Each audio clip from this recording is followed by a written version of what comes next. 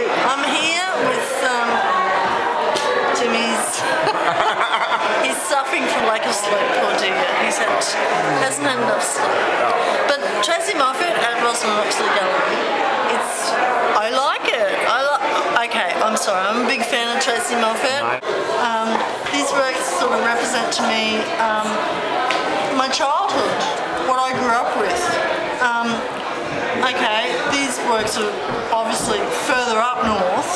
Um, I'm from Rockhampton. The cane fields, the um, Queensland Queensland temperature, the climate was consistent. It was it was it was never ending, and it was like you know family life up there. It was hard work. Has captured a life, a moment in time, and she's done it well. I think it's good. I think it's I think it's fantastic. But no, she's done good. She's she's a good chick. I love Tracey. I'll always love Tracey. We've had some we've had some cool times together. I shared a beer with her on the roof. Yeah. We've done other things.